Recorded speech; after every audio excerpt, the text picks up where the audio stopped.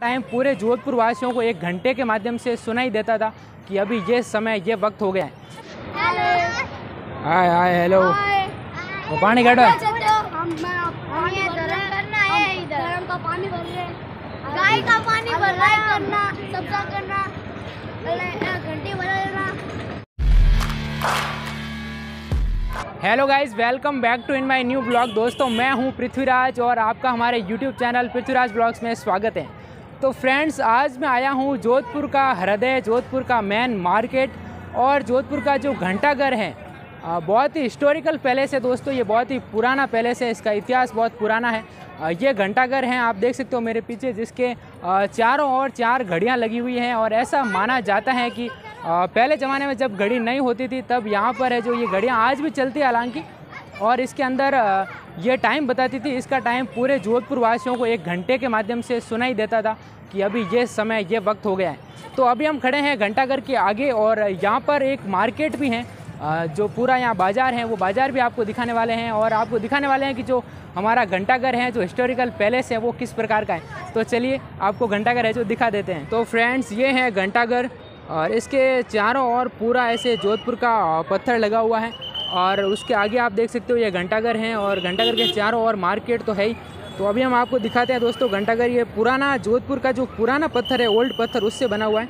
और आप देख सकते हो कितना इसकी हाइट काफ़ी हाइट है, मुझे अभी अंदाज़ा तो नहीं लग रहा है। आई थिंक लगभग मुझे लग रहा है कि ये दो सौ फीट लंबा हो सकता है 200 फीट इसकी लंबाई है। और इसके चारों ओर इस प्रकार के जो घंटे लगे हुए हैं। चलते हैं अभी घंटाघर को अंदर से एक्सप्लोर करने की कोशिश है जो करते हैं हम लोग कि अंदर से ये घंटाघर कैसा दिखता है और इसके अंदर क्या है। यहाँ पर्यटक बहुत आते हैं दोस्तों, आप देख सकते हो चारों ओर का माहौल आप देख सकते हो। और इधर साइड में आप देख रहे हो ये घंटाघर का एंट्री गेट है, यानी इसके अंदर से अंदर आया जाता है। और एग्जिट गेट भी यही है, यहाँ पर लिखा है सरदार मार्केट गिरदी कोट। इसका जो रियल नाम है वो Sardar market Girdikot. English में लिखा हुआ है दोस्तों, इतना पुराना होने के बावजूद भी अंग्रेज़ी के अंदर नाम लिखा गया तो अभी इधर से दिखाते हैं हम आपको। यहाँ पर स्वच्छता सर्वेक्षण 2021 अभी ये नगर निगम के देख रेख में है तो नगर निगम ने अपना बोर्ड भी लगा रखा है। और इसके आगे आप देख सकते हो कबूतर है जो दाना सूख रहे हैं, यहाँ पर कबूतरों को लोग दाना भी डालते हैं, पुण्य का काम भी करते हैं। और दूसरी खास बात दोस्तों, मैं आपको दिखा दूँ कि घंटाघर के पास में खड़े रह के आप सामने जो आपको दिख रहा है, ये जोधपुर का किला है। जोधपुर का फोर्ट है, मेहरानगढ़ फोर्ट, वो आप देख सकते हो यहाँ से।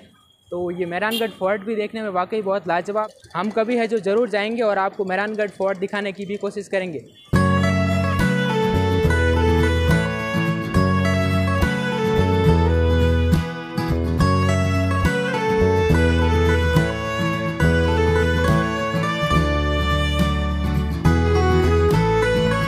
तो जैसा कि आप देख सकते हैं दोस्तों, अभी हम घंटाघर के आगे खड़े हैं। और अंदर जाने के लिए दोस्तों टिकट लगता है जो पच्चीस रुपये हैं और फॉरेनर्स के लिए हैं सौ रुपये तो सौ रुपये का वो टिकट लेके सुबह दस बजे से लगाकर शाम को पाँच बजे तक खुला रहता है।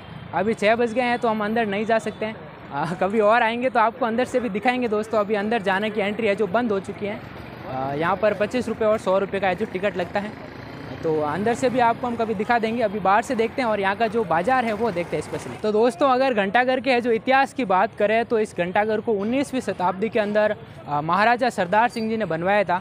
और घंटाघर को बनाने वाली वही कंपनी थी जिसने लंदन के अंदर घंटाघर बनाया था। उसी कंपनी ने जोधपुर के अंदर ये घंटाघर बनाया। घंटाघर का निर्माण पहले किया गया और उसके बाद में धीरे धीरे ये जो मार्केट है, जिसका नाम सरदार मार्केट है, वो मार्केट धीरे धीरे डेवलप हुआ। जो व्यापारी है वो आए और यहाँ पर अपने स्टॉल्स लगाए और ये मार्केट बहुत ही प्रसिद्ध हो गया। फ़ेमस हो गया।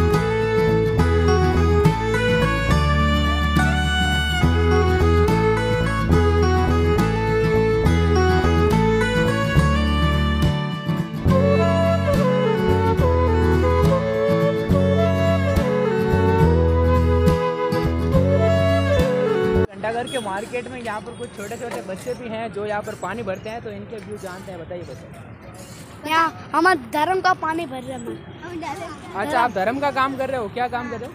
गाय को पानी गाय को पानी हम कुछ बोलना चाहते हैं। अच्छा दोस्तों ये लोग हैं जो गायों के लिए पानी पिलाने का काम कर रहे हैं। देखिए कितने हाँ। छोटे छोटे बच्चे हैं। ये देखो सर यहाँ पे हम सब पानी भरते हैं इधर।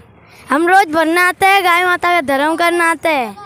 और समरोज दोनों साइड दोस्तों, आपको दिख रही होगी।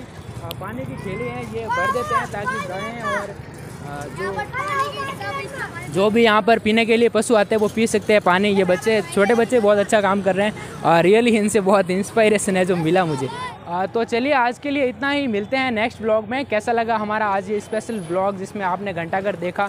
आगे भी हम जोधपुर को ऐसे ही एक्सप्लोर करते रहेंगे। तो दोस्तों आप हमारे चैनल को जो सब्सक्राइब कर दीजिए और वीडियो को शेयर करें और एक प्यारा सा कमेंट ज़रूर करें। आ, मिलते हैं नेक्स्ट ब्लॉग में। तब तक के लिए जय हिंद जय भारत।